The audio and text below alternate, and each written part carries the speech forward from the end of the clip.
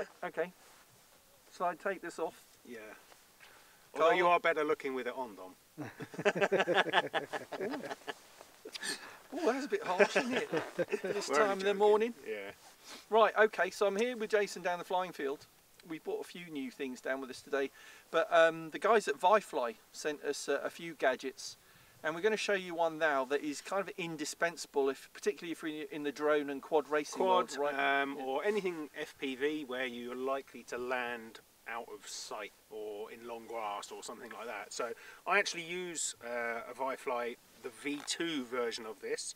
This is the new mini version. So as far as I can tell, it does the same thing, um, but it's it's really small. Uh, I mean, the lipo cell inside it. I haven't seen a lipo cell that's that size for for quite some time. So really, really small, ideal for really miniature aircraft. Um, and the idea of these is it's not it's a lost model alarm, which you can set off via your transmitter. Um, or in the event of a crash, it will also beep. And the really nice thing about Vifly, which I haven't seen on a lot of other beepers, is they have a LiPo in them. So in the event of a big crash, and it all comes apart and cables become disconnected and your LiPo goes flying in, in the other direction, this will then start beeping once it's detected that the, main LiPo has been disconnected from the aircraft. So really handy little thing. It saved me hours of finding my quad in long grass and up trees and stuff like that. So Up trees. uh, absolutely, yeah. I mean, you land a, a quad in a tree by accident, and uh, yeah, if you if you don't know it's in a tree, then you're looking on the ground. It's it's saved me quite uh, quite a few Why times. So, don't we ever film that? so let's see what the little tiny new mini version does. So as you can see, this is the Vifly Finder Mini. So Link will be in the video description and pinned comment if you want to get hold of one. But yeah. Yep. And Dom's going to go and find my quad when I crash it in the uh, in the long grass. Yeah, so I am going to uh, cover my eyes, and you're going to take off and land somewhere, and then I will go find it. Absolutely, yeah. And, And the nice thing, it uses the same connector as all the other Vifly products. So on my drone, I just literally disconnect the existing cable, take the the V2 out, and you can see the size difference there actually between the two. So quite a lot smaller, and connect it up. And Jason, just a quick question. Obviously, this one, I'm guessing you've got a flickable switch so you can activate it. I do, yes. What if you lose all power? Will it still start beeping? It will just start beeping, Yeah, you get like a. I think it's like a 15 second cooldown period um, Okay. where you it will said beep this already, quietly. didn't you? He wasn't listening.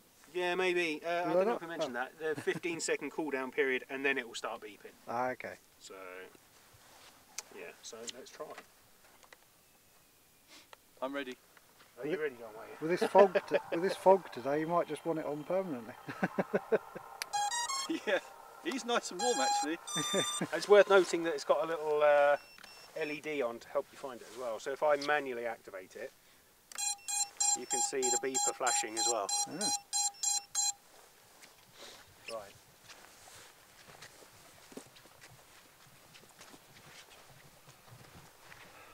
I must capture Dom falling over when he can't see as well.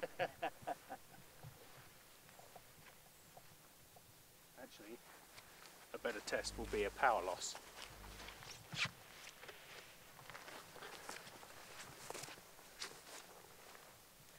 So I'm going to disconnect the battery, hide the quad, and then hopefully in I about... thought you were going to fly out somewhere. No, because then you'll hear the motors beeping as well, because the motors beep. Oh, so if I disconnect the power, it's like it's Oh, had a okay, crash. So you're simulating a really hard crash. Yeah.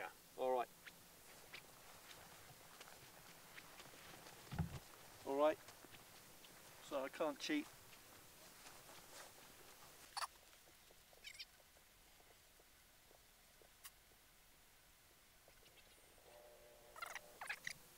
Oh, very clever. Leaving some dummy footprints just in case he cheats. Oh, really? I wouldn't have. I tell you what, I wouldn't have thought of that anyway. Time to find it. right, can I actually? I'll...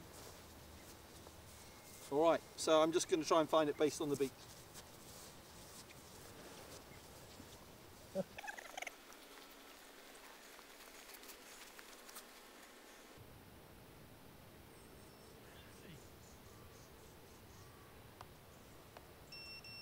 It works.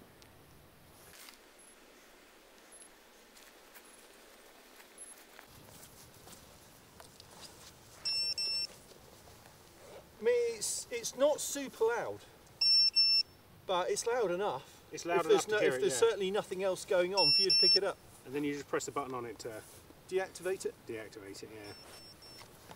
So really handy. I mean, I've been using them for quite some time. Not the mini version, this is a new version.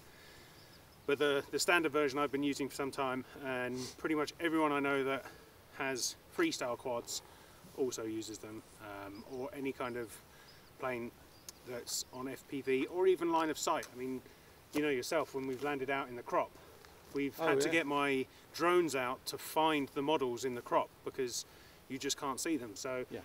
A lot of clubs are like that, are surrounded by crops. yeah. So we we've genuinely on models without lost model alarms had to have got quads out to go and find these models. So I mean, for, for what they cost, they're they're a, a brilliant tool. a small investment Yeah. that could potentially save you hundreds. Absolutely, yeah. So that's uh, so what's it called again?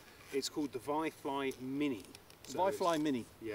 So if you're interested in this, then the link is in the product description, the video description, and the pinned comment. Look it up for the price. It's not a lot. It's just a few bucks, I think.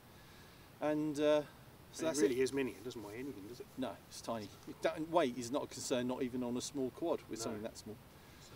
So thanks for watching. If you're interested in more essential RC flight tests and just general product tests like this, then please subscribe. You might want to click on the bell icon for notifications of our future uploads as well.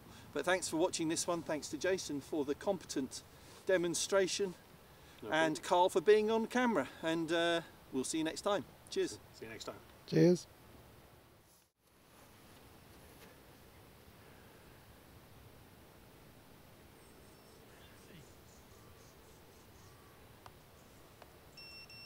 It works.